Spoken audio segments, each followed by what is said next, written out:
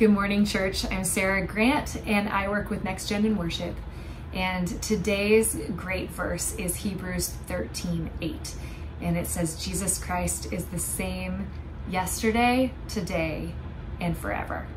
And to me, this just speaks so much hope and peace um, over our sometimes chaotic lives and minds and um, the anxieties that we have, the insecurities that we have, because as we change and we adapt and we learn and we grow, um, we also can make poor choices and not be the same as we were.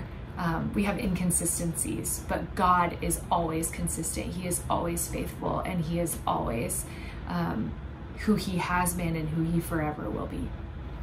And um, I think about this in the context of what we've been going through as a church community in Psalm 23 that He is the shepherd, that He guides and He leads and He is patient and He goes after. Um, he goes after us, calling us to still waters. Um, he goes with us in dark valleys. This is such a beautiful picture of who God is and who He forever has been and forever will be.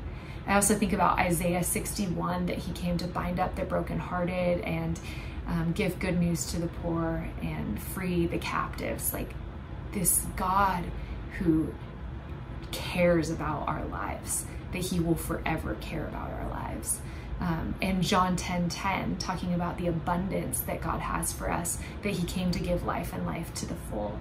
Um, is such a beautiful picture of this God who came to give us so much abundance with Him.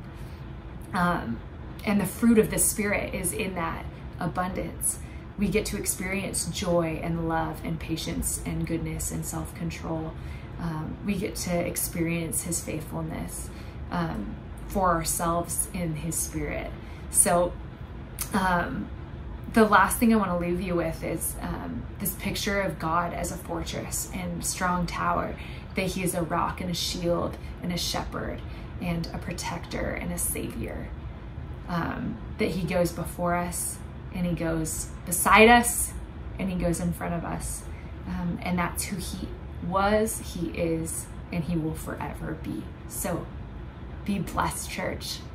God is with you and He will forever be with you. Um, just lean into Him. So that is the daily hope for today. And we'll see you tomorrow for another.